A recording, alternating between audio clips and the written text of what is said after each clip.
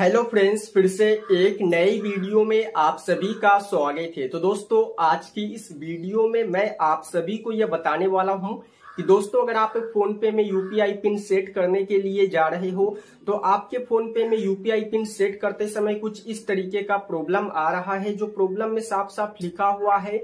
Unable to set UPI pin का। जी हाँ दोस्तों, मुझे पता है कि आप इस प्रॉब्लम को लेकर काफ़ी ज़्यादा परेशान हो चुके हो और आप फ़ोन पे में यूपीआई पिन सेट नहीं कर पा रहे हो। और मुझे पता है कि आपने यूट्यूब पे काफ़ी सारे ऐसे वीडियो देखने के बाद आपने मेरे वीडियो पे क्लिक किए हो। तो मैं उम्मीद करता हूँ कि आप हमारे इस वीडियो पे क्लिक किए हो तो आपको हमारे इस वीडियो को देखने के बाद आपके फ़ोन पे में जो unable to set UPI pin का जो प्रॉब्लम है, ये हंड्रेड परसेंट सोल्व हो जाएगा। तो चलिए आखिर जानते हैं कि अगर आपके भी फ़ोन पे में यूपीआई पिन सेट करते समय unable to set UPI pin का प्रॉब्लम आ रहा है तो आप इसे कैसे सोल्व कर सकते हैं, कैसे ठीक कर सकते हैं और दोबारा से फ़ोन पे में यूपीआई पिन किस तरीके से सेट कर पाओगे। तो इस वीडियो में जानने से पहले इस वीडियो को एक लाइक एंड चैनल को सब्सक्राइब कर लीजिए और साथ ही इस बेल आइकन को ऑल के ऊपर प्रेस कीजिए। तो चलिए बिना देर हुए चलते अपने मोबाइल की स्क्रीन पे। तो दोस्तों फाइनली आ चुके हैं अपने मोबाइल के स्क्रीन पे। जी हाँ दोस्तों, आप भी फ़ोन पे में यूपीआई पिन सेट करने के लिए जा रहे हो तो इस तरीके का ही प्रॉब्लम आ रहा है unable to set UPI pin का। तो दोस्तों, देखिए, इस प्रॉब्लम को सोल्व करने के लिए सबसे पहले आप सभी को बैक चले आना है।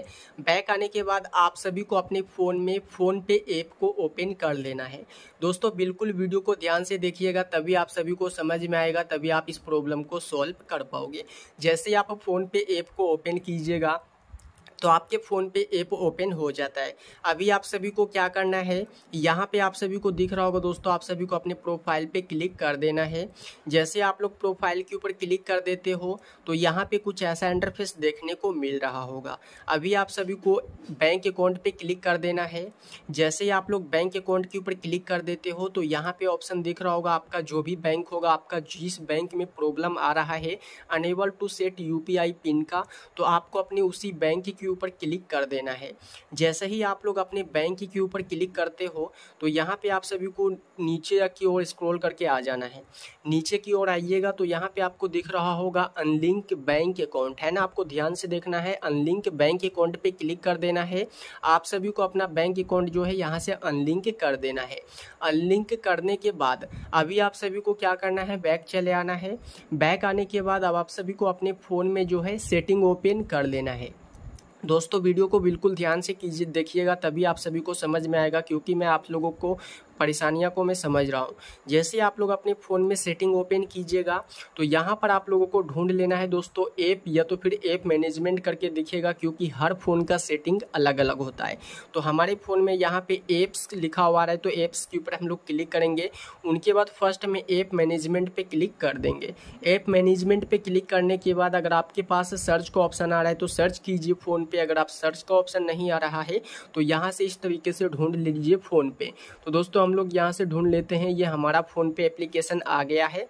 तो हम लोग अपने फ़ोन पे ऐप के ऊपर क्लिक कर देंगे। फ़ोन पे ऐप के ऊपर क्लिक करने के बाद यहाँ पे आप सभी को ऊपर की ओर स्क्रॉल डाउन कीजिएगा। तो यहाँ पे आपको स्टोरेज यूज़र्स के ऊपर क्लिक कर देना है। स्टोरेज यूज़र्स के ऊपर क्लिक करने के बाद यहाँ पे आप सभी को क्या करना है क्लियर कैच के ऊपर क्लिक करके क्लियर डेटा कर देना है, इसे डिलीट कर देना है। इतना काम कर लेने के बाद अभी आप सभी को बैक चले आना है कुछ इस तरीके से।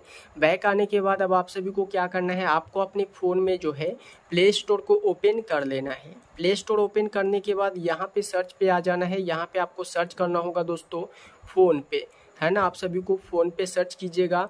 तो ये जो फ़ोन पे एप्लीकेशन आपके फ़ोन में इंस्टॉल है, इसे आप सभी को यहाँ से डिलीट कर देना है। तो ये फ़ोन पे एप्लीकेशन आपके फ़ोन से डिलीट हो जाता है। अभी आप सभी को हमारे वीडियो के डिस्क्रिप्शन में फ़ोन पे एप्लीकेशन का लिंक दिख रहा होगा। उनके ऊपर क्लिक करके आप चाहे तो डाउनलोड कर सकते हैं, नहीं तो दोबारा से प्ले स्टोर ओपन कर लीजिए। यहाँ पे सर्च पे क्लिक करके यहाँ पे फ़ोन पे सर्च कर लीजिए। फ़ोन पे एप्लीकेशन आ जाता है, आपको अपनी फ़ोन में इसे इंस्टॉल कर लेना है। तो दोस्तों, इसे इंस्टॉल कर लेते हैं जब तक हमारे फ़ोन में इंस्टॉल हो रहा है। तो दोस्तों, फ़ोन पे ऐप को डाउनलोड करने के बाद अब आप सभी को बैक चले आना है। बैक आने के बाद अब आप सभी को अपने फ़ोन में फ़ोन पे ऐप को ओपन कर लेना है। जैसे ही फ़ोन पे ऐप को ओपन कीजिएगा तो आपके फ़ोन में फ़ोन पे ऐप ओपन हो जाता है। यहाँ पे आपका जिस नंबर से फ़ोन पे अकाउंट बना हुआ है, यहाँ पे कह रहा है इंटर योर मोबाइल नंबर तो आपको अपना वही नंबर से फ़ोन पे अकाउंट बना हुआ है। फ़ोन पे का नंबर डालने के बाद यहाँ पे आप सभी को प्रोसीड के ऊपर क्लिक कर देना है। जैसे आप लोग प्रोसीड के ऊपर क्लिक करते हो तो यहाँ पे आपके यहाँ सामने जो है फॉरगेट पासवर्ड का ऑप्शन आ रहा होगा। तो फॉरगेट पासवर्ड पे क्लिक कर लीजिए।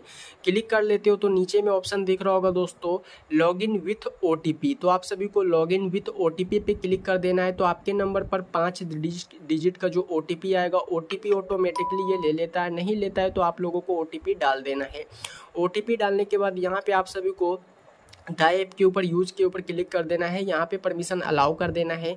ये थोड़ा सा आपका फ़ोन पे अकाउंट लोडिंग ले रहा है तो आपको कुछ देर तक वेट करना होगा। तो दोस्तों, चलिए हमारा आ चुका है तो हम लोग परमिशन को अलाउ कर देते हैं, फिर से अलाउ कर देते हैं। यहाँ पे कुछ इस तरीके से आए तो हम लोग स्किप कर लेते हैं। अभी आप सभी के फ़ोन में, फ़ोन पे ऐप ओपन हो जाता है कुछ इस तरीके से।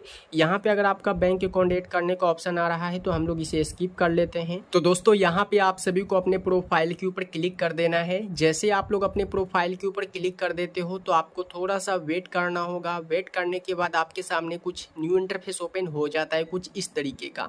अभी आप सभी को क्या करना है, यहाँ पे आप सभी को बैंक अकाउंट के ऊपर क्लिक कर देना है। जैसे आप लोग बैंक अकाउंट के ऊपर क्लिक कर देते हो तो यहाँ पर आप लोगों का जिस भी कंपनी में बैंक है, अपना जिस भी खाता है, जो भी अपना बैंक में खाता है तो यहाँ पे आप सभी को अपने बैंक का नाम डाल देना है। तो हमारा यूको बैंक है तो हम लोग अपना यूको बैंक सर्च कर लेते हैं। और अपने बैंक अकाउंट के ऊपर क्लिक कर देना है। जैसे अपने बैंक अकाउंट पे क्लिक करते हो, ये बैंक अकाउंट लिंक कर रहा है, या ऑटोमेटिकली लिंक ले लेता है। लिंक कर लेने के बाद यहाँ पे आपके सामने सेट यूपीआई पिन का ऑप्शन आ रहा होगा सेट पिन का, क्योंकि हमारे पिन में रीसेट पिन का ऑप्शन आ रहा है। तो हम लोग अगर आपके सेट पिन का ऑप्शन आ रहा है तो सेट पिन पे क्लिक कीजिए। हमारे पास रीसेट पिन का ऑप्शन आ रहा है तो हम लोग रीसेट पिन के ऊपर क्लिक कर देते हैं। क्लिक करने के बाद अभी आप सभी के सामने कह रहा है, दोस्तों debit card ATM card details अगर आप अपना आधार कार्ड से जो है फ़ोन पे अकाउंट मतलब जो है बना सकते यू यू पी बना रहे हैं, यहाँ पर यू पिन सेट कर रहे हैं तो यहाँ पर आप लोगों को आधार कार्ड का ऑप्शन दिखेगा। दोस्तों, यहाँ पे क्लिक करके अपने आधार कार्ड से भी बना सकते हैं। अभी हमारे बैंक अकाउंट जो है, हमारा यूको बैंक बैंक है तो हम लोग अपने बैंक का एटीएम दे देते हैं। तो आपका अगर आपका एटीएम कार्ड से बन रहा है तो अपने एटीएम कार्ड का जो डिटेल्स यहाँ पे डालना है, आपका जिस भी बैंक अकाउंट का एटीएम है, वही एटीएम को यहाँ पे डालना है। यहाँ पे आपको थोड़ी सी बात का ध्यान रखना है कि यहाँ पे अपना एटीएम डिटेल्स जो डालते हैं, ये सही सही डालें, तभी आपके सामने ये प्रॉब्लम नहीं आएगा, unable to set UPI pin का। कुछ लोग गलती ये करते हैं कि यहाँ पे अपने एटीएम का लास्ट का सिक्स डिजिट नंबर है, वो गलत डाल देते हैं, और यहाँ पे एम बाई यानी कि आप टू एक्सपायरी डेट है, वो भी आपको ध्यान से डालना होगा। देखिए दोस्तों, मैं आप लोगों को अच्छे तरीके से बता देता हूँ ताकि आप सभी को समझ समझ में आ जाए और आपका जो प्रॉब्लम है वो हंड्रेड परसेंट सॉल्व हो जाए। जैसा कि हमारे पास यहाँ पे हमारा एटीएम कार्ड दिख रहा होगा आपको। तो यहाँ पे आपको दिख रहा होगा दोस्तों वैलिड फॉर्म है ना? तो ये वाला आपको नहीं डालना है। कुछ लोग गलती यही करते कि यहाँ पे वैलिड फॉर्म डाल देते हैं और लास्ट में जो है वैलिड ट्रूथ जो दिख रहा होगा, ये वाला आपको डालना है। यहाँ पे आपको ज़ीरो टू और टू एट इस तरीके से डाल दीजिएगा। ये हुआ आपका एक्सपायरी डेट है है ना? एटीएम कार्ड का एक्सपायरी डेट ये डाल देना अपने एटीएम कार्ड का लास्ट का सिक्स डिजिट नंबर यहाँ पे आपको डाल देना है। तो चलिए फटाफट से मैं यहाँ पे अपना जो एटीएम डिटेल्स डाल देता हूँ, आपको भी ध्यान से डाल लेना है। तो चलिए डाल लेते हैं। तो दोस्तों, यहाँ पे आप सभी को अपना एटीएम कार्ड्स का लास्ट का सिक्स डिजिट नंबर और यहाँ पे आपको एक्सपायरी डेट मैम डालने के बाद यहाँ पे आप सभी को प्रोसीड के ऊपर क्लिक कर देना है। प्रोसीड के ऊपर क्लिक करने के बाद परमिशन अलाउ कर देना है। अलाउ जैसे आप लोग कर दे तो यहाँ पे आप के नंबर पे एक एंटर कोड आएगा। बैंक की तरफ़ से आता है ये सिक्स डिजिट का कोड ये कोड ऑटोमेटिकली ले लेता है। लेने के बाद यहाँ पे आप सभी को सही के टिक के ऊपर क्लिक कर देना है। क्लिक करने के बाद यहाँ पे कह रहे दोस्तों enter four digit ATM pin आपने जो अपने एटीएम का पिन रखे हो, अपने एटीएम का पिन डाल देना है।